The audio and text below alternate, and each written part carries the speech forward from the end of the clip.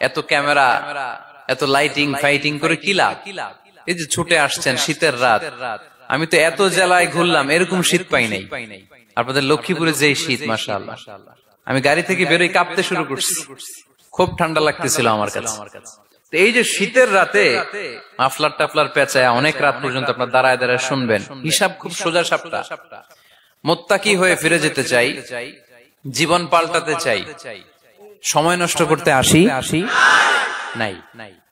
সময়ের অনেক দাম। সময়ের দাম দিতে শিখেন। সময়গুলো অনেক দামি। তো আজকের আলোচনা থেকে আমরা কিছু নিয়ে যাব শিখে যাব। আর কি হয়ে ফিরে যাব? বৈশিষ্ট্য কয়টা? তাহলে একটু চেক করব যে আছে কিনা আমাদের মধ্যে এই গুণগুলা। থাকলে ভালো। ভালো অনেকের হয়তো আছে। আছে। যদি না থাকে, এগুলো আমাদের ধারণ করতে হবে। কথা কি ক্লিয়ার না? আলহামদুলিল্লাহ। মুত্তাকির প্রথম বৈশিষ্ট্য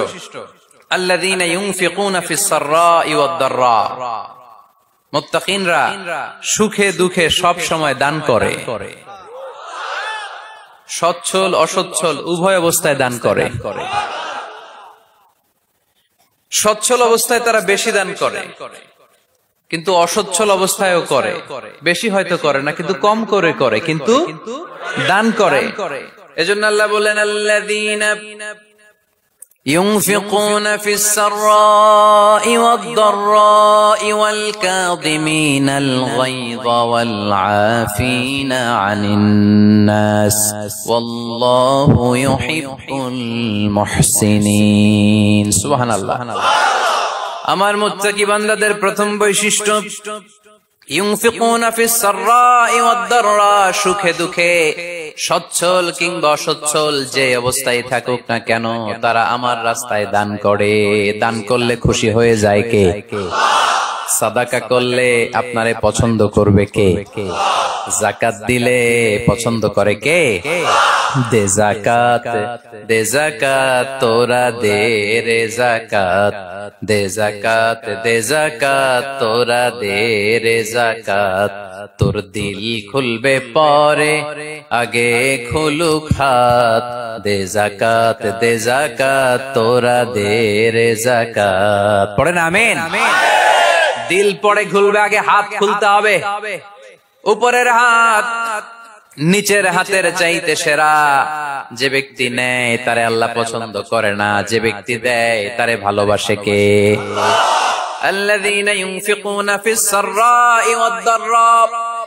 আমার মোত্তাকি বান্দারা সুখে দুঃখে সচ্ছল অসচ্ছল উভয় অবস্থায় আমার রাস্তায় দান করে।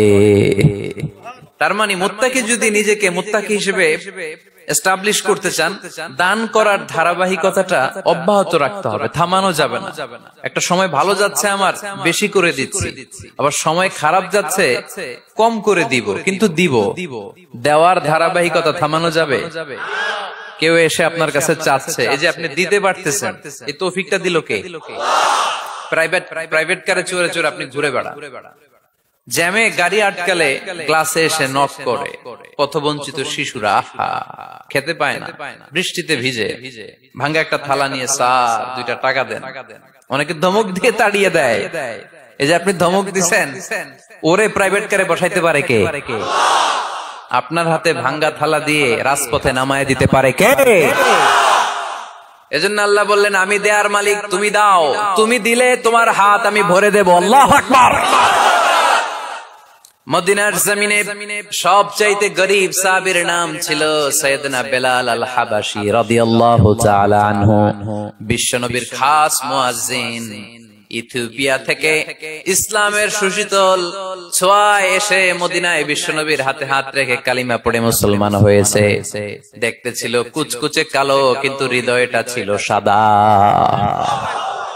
মদিনার সবচাইতে গরিব সাহাবি। লজ্জাস্থান ঢাকার মতো একটা লুঙ্গি ছিল। এছাড়া কিছু ছিল না। ছিল না শুধু আমাদের লজ্জাস্থান ঢাকার মতো একটা লুঙ্গি আছে, আর কিছু নাই। এরকম কে কে আছেন? হাত তোলেন। কেউ নাই। তার মানে আল্লাহ আমাদের অনেক দিয়েছে, ঠিক কিনা? মদিনার সবচেয়ে গরিব সাহাবির নাম বেলাল রাদি আল্লাহ জালান হোক লজ্জাস্থানটা ঢাকার কাপড় ছাড়া তার কিছু ছিল না। ওই বেলাল রাদি আল্লাহ তালুকে ডেকে বিশ্বনবী বললেন আংফিকিয়া বেলাল, ও বেলাল, তুমিও আল্লাহর রাস্তায় দান করো। করো আংফিকিয়া বেলাল বেলাল, আল্লাহর ধনভাণ্ডারে কমতি নাই, তুমি দান করো, তোমারও বাড়ায়া দিবে কে? যে বেলাল রাদিয়াল্লাহু তাআলা লুঙ্গিটা পরা ছাড়া আর কোন সম্পত্তি ছিল না। লুঙ্গিটাই সম্পদ। আর কিচ্ছু নেই। ওই বেলালকে বিষ্ণু বলেছেন, দান করো বেলাল, কিপটামি করো না। যে রবের সন্তুষ্টির জন্য তুমি দান করবা, ওই রবের কোনো কমতি নাই, ঘাটতি নাই। গোটা বিশ্বের সবার সব ডিমান্ড পূরণ করে দিল। যার যত চাহিদা, সব দিয়ে দিল। আমার আল্লাহর ধন ভান্ডারের এক ইঞ্চিও কমবে না। এজন্য মুত্তাকিদের প্রথম বৈশিষ্ট্য ينفقون في السراء والضراء والكاظمين الغيظ والعافين عن الناس والله يحب المحسنين মুত্তাকিনদের প্রথম বৈশিষ্ট্য সুখে দুঃখে সব সময় দান করে একজনের খুশির জন্য তিনি কে দান করলে যে আল্লাহ বাড়ায় দেয় বিশ্বাস হয় বিশ্বাস হয় বাড়িয়ে দিবে আল্লাহ মাসালুল মাসালুল্লাযীনা ইউনফিকুনা ফি সাবিলিল্লাহি কামাসালি হাব্বা আমবাতাত সাবআ সানাবিলা ফি কুল্লি সুমবুলাতিন মিআতু হাব্বা ওয়াল্লাহু ইউদাইফু লিমান ইয়াশাউ ওয়াল্লাহু ওয়াসিউন আলীম সুবহানাল্লাহ পড়ে আল্লাহর রাস্তায় দানের দৃষ্টান্ত চারা গাছের মতো। যেই চারা গাছ রোপণ করে দিলে সেখান থেকে শীষ গজায় সাতটা। ওই সাতটা শীষ থেকে প্রতিটা শীষ থেকে হয় শত শস্য দানা মানে সাতশো। আপনি এক টাকা দান করলে আল্লাহ সাত গুণ, একশো গুণ থেকে সাতশো গুণ বাড়ায় দিবে। আল্লাহর প্রাচুর্যতার কোনো কমতি নাই। আল্লাহর ভান্ডারে কোনো ঘাটতি নাই, আছে? এজন্য দিতে হবে কি করতে হবে? দিলে নতুন করে আসে না দিলে আসে না। বিশ্বাস হয়? অনেকে বিশ্বাস করে না। আল্লাহ বলেন আংফিক ইয়াবনা আদম উংফিক আলাই এই বনি আদম দাও দিলে আমিও দেব। অনেকে আমরা ধরে রাখি ধরে রাখি দেখে নতুন কিছু আসে না। আপনার হাতে পাঁচ কেজির একটা বস্তা তো এটা ধরে রাখলে আরেকটা নিতে পারবেন? এটা ফালাই দিলে না দশ কেজি ধরতে পারবেন? কথা কয় না। পাঁচ কেজির ওইটা দিয়ে দেন। বিশ কেজি আসবে। বিশ কেজির ওইটা দিয়ে দেন, চল্লিশ কেজি আসবে। আর পাঁচ কেজি ধরে রাখলে নতুন কিছু আসবে।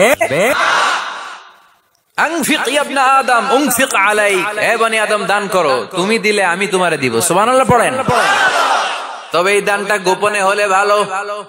প্রকাশ্যে দান করলেও আল্লাহ কবুল করে, কিন্তু গোপনে করলে বেশি খুশি হয় কে?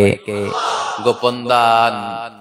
আল্লাহ তালার রাগ আর ক্রোধ যদি আপনার উপর থেকে থাকে, গোপন দান আল্লাহর ক্রোধ আর রাগকে কমিয়ে দেয়। গোপন দান করলে আল্লাহ খুশি হয়ে যায়। আল্লাহর যদি কোনো রাগ, গোসা, ক্রোধ থাকে, আপনার উপর এটা কমে যাবে। সাত শ্রেণির ব্যক্তিকে আল্লাহ আরও সে নিচে ছায়া দিবেন কেমতের দিন। যেদিন সে ছায়া ছাড়ার কোনো ছায়া থাকবে না। এর মধ্যে এক শ্রেণির ব্যক্তি রজুলুন তাসাদ্দাকা বিসাদাকা।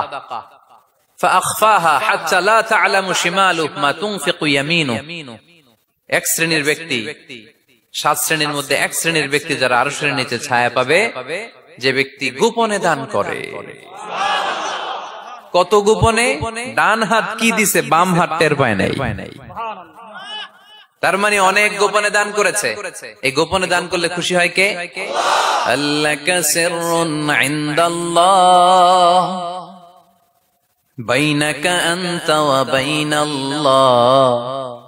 هل لك صدقات تخفى؟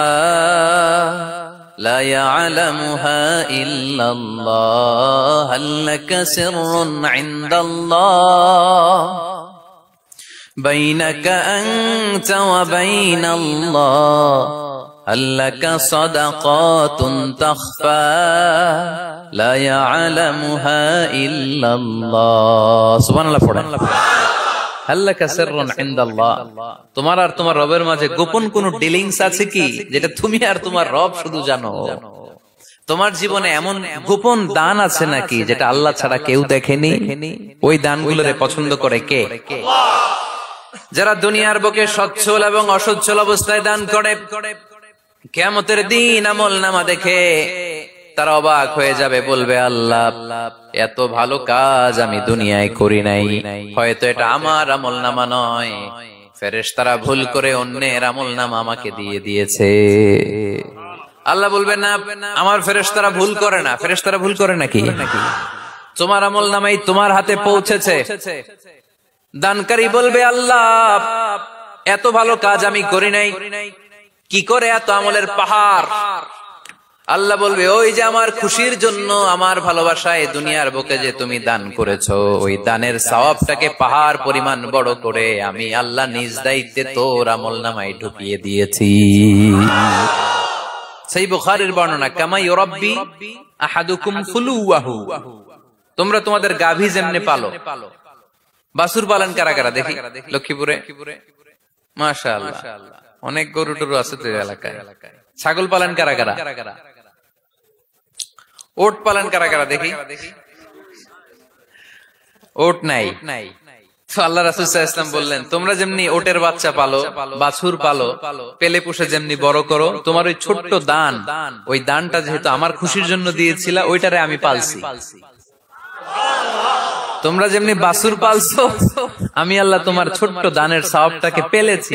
পেলে, পুষে, ইয়া বড় অহুদ পাহাড়ের সমান করে এরপরে তোমার আমল নামায় উঠাইয়া দিছে। তাহলে মোত্তাকি বান্দার প্রথম গুণ তারা দান করে। লক্ষ্মীপুরের ভাইয়েরা, খেয়াল করে শুনেন, মুত্তাকি বান্দাদের প্রথম গুণ, সুখে থাকি আর দুঃখে থাকি। আল্লাহর রাস্তায় দান করব আমরা, ঠিক কিনা? সর্বাবস্থায় দান করতে হবে। ফিসাররা সুখের সময়ও করব। দুঃখের সময়ও করব। সুখের সময় যদি আমি বছরে দশ হাজার টাকা দান করি দুঃখের সময় দশ টাকা তো দিতে পারব। কথা বুঝে নাই বোধ কষ্টের সময় অল্প দিব কিন্তু দেয়ার ধারাবাহিকতাটা আমরা চালিয়ে যাব। পারা যাবে? তাহলে মোত্তাকিদের প্রথম গুণ আল্লাহ ইউনফিকুনা ফিস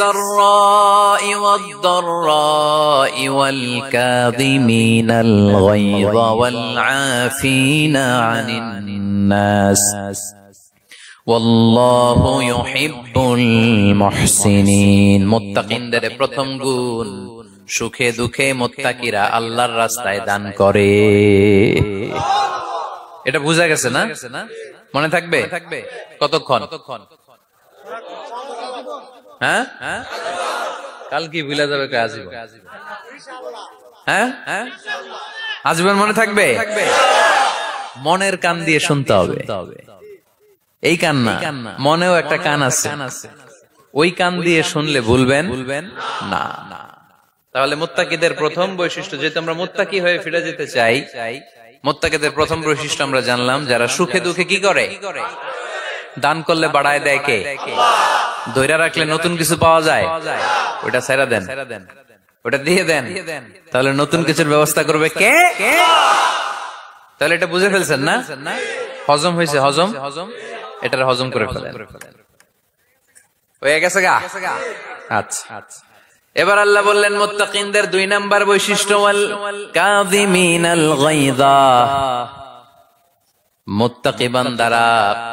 তাদের রাগকে হজম করে রাগ সংবরণ করে ক্রোধকে নিয়ন্ত্রণ করে। সুবহানাল্লাহ পড়েন। এবার আসছে কঠিন ওয়াজ। এবার? এবার? একজনকে হুজুর এটাই তো পারি না। এটাই তো? পারি না এটা পারতে হবে আপনাকে মুত্তাকি হতে চাইলে। মুত্তাকিনরা নিজেদের রাগকে সংবরণ করে। রাগ হজম করে। রাগের সময় নিজের উপর নিয়ন্ত্রণ রাখে। আমাদের অনেকের অনেক রাগ। এত রাগ। রাগের সময় হিতাহিত জ্ঞান থাকে না। এরকম আছে না নাই? রাগ কিন্তু অনেক ভয়ঙ্কর জানেন? জানেন? রাগ বেশি কার কার? লক্ষ্মীপুরের দেখি তো। খাইছে। আছে তো দেখি। তিন চার জনের রাগ আছে না? বাকি সব আল্লাহর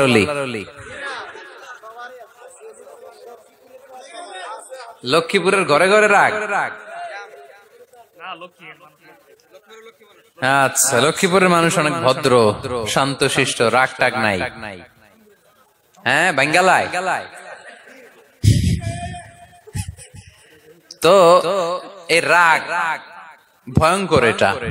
রাগ কিন্তু ভয়ঙ্কর। মানুষ যখন রাগ করে, তখন তার হিতাহিত জ্ঞান থাকে। থাকে কি করে, কি বলে সে জানে। জানে পৃথিবীর সবাই আমরা রাগী, কেউ কম কম কেউ বেশি। এটা ভেরি ন্যাচারাল আমাদের দেহে একটা হরমোন আছে।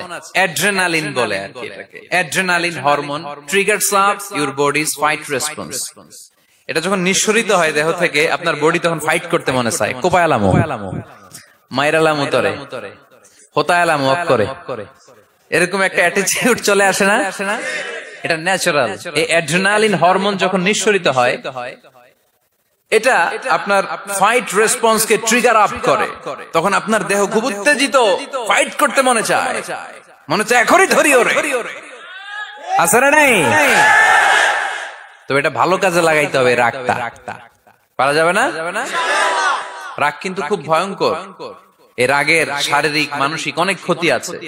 হার্ট অ্যাটাক করে অনেকে রাগে স্ট্রোক করে ফেলে। রাগ। হচ্ছে অনেকটা ঝড়ের মতো। কিসের মতো? ঝড় যেমনি একদিক থেকে এসে সব লন্ড ভন্ড করে দিয়ে অন্য দিক দিয়ে ছুটে চলে যায়। যখন ঝড়টা হয় তখনও তো টের পাওয়া যায় না। রাগও তেমন। যখন রাগটা আসে কি যে করে ফেলছি তখন বোঝা যায় না। রাগ রাগ চলে যাওয়ার পরে, মাথা ঠান্ডা হওয়ার পরে তখন বোঝা যায় হাই রে, এটা কি করলাম? রাগের সময় দিয়ে দিছে তালাক। রাগের সময় কি করছে? রাগ যখন শেষ, তখন কয়, হায় হায়, বউ, তুমি তো আমার কৈতরি। তুমি তো আমার টুনটুনি। তুমি আমার ময়না পাখি। তো রাগের সময় ওটা খেয়াল ছিল না। তো এরকম অনেক, যেহেতু হিতাহিত জ্ঞান থাকে না, অনেক দুর্ঘটনা ঘটে যায়। মারামারি হয়, সম্পর্কের অবনতি হয়, স্বামী স্ত্রী সম্পর্কের বিচ্ছেদ ঘটে, বাবা ছেলের সাথে রাগ করে না?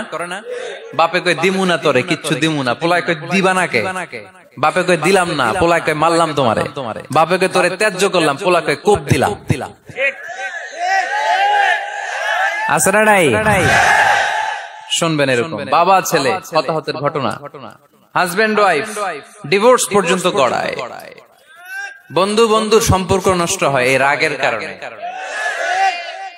দেখছেন? আল্লাহ যেখানে যত ফোটা দেয়া দরকার ওই জায়গায় অত ফোটা দেয়। এটার নাম ইসলাম। এজন্য আল্লাহ বললেন মোত্তাকিদের দুই নাম্বার গুনাল কাযিমিন আল গাইদ মোত্তাকিনরা রাগকে সংবরণ করে, তারা অল্পতে চটে যায় না, তারা হট টেম্পার্ড না, তারা বুঝে শুনে কাজ করে, নিজের ক্রোধ আর রাগকে সংবরণ করতে জানে। সুবহানাল্লাহ পড়ে। আল্লাহ রসুল বললেন কুস্তি করে যে অন্যকে শোয়ায় ফেলতে পারে, সে শক্তিশালী নয়।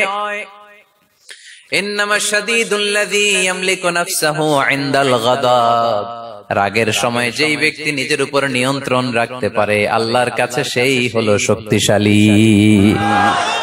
এক একটা কথার ওজন দেখছেন? আল্লাহ রাসুল ইসলামের যে কুস্তি খেলতে পারে ভালো সে শক্তিশালী না। বরং রাগের সময় যে নিজেকে নিয়ন্ত্রণ করতে পারে সেই শক্তিশালী। সুবহানাল্লাহ পড়া। এজন্য আমি মুত্তাকি হম হুজুর।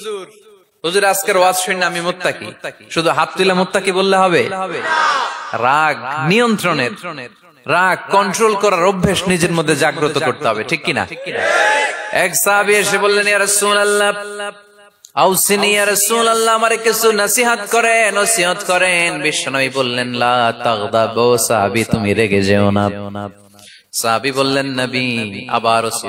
বিশ্বনবী বললেন, তুমি রেগে যেও না। সাহাবী বললেন, শুনলাম তো এটা। আরেকটা কিছু কন, বিশ্বনবী বললেন, রেগে যেও না। বারবার যতবার বিশ্বনবীর কাছে নসিহত চাইলেন একটা করলেন, রেগে যেও না। কারণ রেগে গেলেন তো হেরে গেলেন। রেগে গেলেন তো হেরে ওরা পায়ে পাড়া দিয়ে ঝগড়া করবে। ওরা আপনারে অলওয়েজ পোক করবে। ওরা আপনার হট টেম্পার্ড বানাতে চাবে, আপনারে অস্থির করে দিতে চাবে। কিন্তু ফর্মুলা আমাদের ভালো জানা আমরা কোরআন থেকে ফর্মুলা নিয়ে চলি। মানব রচিত কোন ফর্মুলায় আমরা চলি না। জোরে বলেন, ঠিক কিনা? মুত্তাকিনদের দুই নাম্বার বৈশিষ্ট্য বল কাযিমিন আল গাইজ মুমিনরা নিজেদের রাগকে নিয়ন্ত্রণ করে। রাগ নাইকার ক্ষোভ নাইকার কিন্তু মুমিনরা, মুত্তাকিনরা চাইলেই রাগ দেখায় না। তারা রাগকে কি করে? পারবেন পারবেন? পারবেন আজকে থেকে ভাবির আর বকবেন না তো? ঝগড়া করবেন না তো? ছেলে মেয়েদের উপর উত্তেজিত হবেন না তো? হ্যাঁ? রাগারাগি করবেন? করবেন মনে থাকবে তো? আল্লাহ রাসুল সাল্লাহ আলহিহাসাল্লাম কখনোই রাখতেন না। সুমান আল্লাহ নাই? আল্লাহ রাসুল ইসলাম কখনোই ওনার সাথে কেউ খারাপ আচরণ করলে উনি রাখতেন না। ওনাকে অত্যাচার করা হয়েছে, তিনি রাখতেন না। জুলুম করা হয়েছে, তিনি রেগে যেতেন না। নাড়ি ঘাড়ে আর পিঠের উপর চাপিয়ে হতো। আমাদের কার কার পিঠের উপর নামাজ অবস্থায় বা গরুর চাপায় হয়েছে এলাকায়? আছে কেউ? নাই নাই। তায়েফের ময়দানে আল্লাহ রাসুসাহ ইসলাম দাওয়াত দিতে গেলেন নিজের লাভের জন্য না তায়েফবাসীদের লাভের জন্য? খে না খেয়ে দিন প্রচারের কাজে নিজেকে দিয়েছ বিলিয়ে তাই ফের কাফিরেরা চিনল না সে আলো দুষ্ট ছেলেদের পিছু দিল লেলিয়ে পাথরের আঘাতে ক্ষত বিক্ষত হয়ে সারা শরীর থেকে রক্ত ঝরে। হেরা সুল তোমাকে ভুলি আমি কেমন করে? হাজার ব্যথা বেদনার পরে। ফিরে আসনি তুমি আপন ঘরে। দিনের আলো তুমি ছড়িয়ে দিতে। চলে গেলে মাদিনাই মক্কা ছেড়ে হেরাসুল তোমাকে ভুলি আমি কেমন করে? হেরাসুল তোমাকে ভুলি আমি কেমন করে? ঠিক কিনা? তাই ফের ময়দানে রক্তাক্ত হলেন তিন তিনটা জায়গায়। দেখে এসেছি আমি এখানে আহত করা হলো। আবার উঠে দাঁড়ালেন, আবার পাথর মারা হলো। কোন গায়ে পাথর মেরেছো তোমরা? এরকম সুন্দর শরীর পৃথিবীর কোন দ্বিতীয় মানুষের ছিল নাকি? এত সুশ্রী মানুষ, শুভ্র মানুষ, পরিচ্ছন্ন মানুষ দুনিয়াতে দ্বিতীয়টা ছিল না। এত নুরানি চেহারার মানুষ পৃথিবীতে দ্বিতীয়টা নাই। এই মহানবীকে ওরা পিটিয়ে রক্তাক্ত করেছে, পাথর মেরে রক্তাক্ত করেছে। তিনবার গেছি ওদের লাভের জন্য, ওরা আমারে মারল। আহা, তারপরও রাসুসাহ ইসলাম কি রেগে গিয়েছেন? কারণ রেগে গেলেন গেলেন তো হেরে গেল কোনোভাবে রাসুসাহ ইসলাম রাখতেন না। নিজের উপর অত্যাচার আসলে রাসুসাহ ইসলাম রাগেন নাই। আনাস রাদিয়াল্লাহু তাআলা আনহু আল্লাহ রাসূলের খাদেম ছিলেন উনি বললেন, কুনতু আমশি মা রাসূলিল্লাহ? আমি একবার রাসূল আলাইহি সাথে কোথাও যাচ্ছিলাম। তখন গায়ে ছিল নাজরান থেকে আনা একটা চাদর। আপনারা চাদর পরেন না? শীতকালে? চাদর পরতেন। নাজরান দেশ থেকে আনা একটা চাদর পরেছেন গলিজুল হাসিয়া যে চাদরের এই কর্নারের ডিজাইনটা ছিল খসখসে। কি ছিল? হঠাৎ এক বেদুইন এসে রাসুসাহ ইসলামের চাদর ধরে টান দিল। টান দেওয়ার সাথে সাথে রাসুসাহ ইসলামের ঘাড়ের এই চামড়া ছিঁড়ে গেল। এই খসখসে যেহেতু ডিজাইন চাদরের ওই খসখসে ডিজাইন ঘাড় আর কাদের এখানে যখন টান খেলো ওই খসখসে ডিজাইনের দাগ বসে গেল, রাসুলের চামড়া ছিঁড়ে গেল ঘাড়ে ঘাড়ে সে টান দিয়ে বলে মোহাম্মদ, মুরলি মিন মালিল্লাহ। আসছে ভিক্ষা করতে মূলত। ভিক্ষা চাওয়ার ডিজাইন দেখছেন? যার কাছে ভিক্ষা চাবে চাদর ধরে টান টান। এসে বলে, বেদুইন তো এদের মধ্যে সভ্যতা ছিল না। ও আমার খাওয়ার মতো টাকা নাই। তুমি আদেশ করো, বাইতুল মাল থেকে যেন কিছু টাকা দেয়। ভিক্ষা ভিক্ষা করতে চাদর ধরে চামড়া গেছে। ব্যথা পেয়েছেন। আল্লাহ তার দিকে তাকালেন, তাকিয়ে একটা মুচকি হাসি দিলেন। আমি রাস্তা দিয়ে চাদর গায়ে দিয়ে হাঁটতেছি। এক ফকির আইসা কয়, ভিক্ষা দেন, টাকা দেন বলে আমার চাদর টান দিছে। আর ওই চাদরে আমার ঘরের চামড়া ছিঁড়ে গেছে। কি করব আমি? আপনি কি করবেন?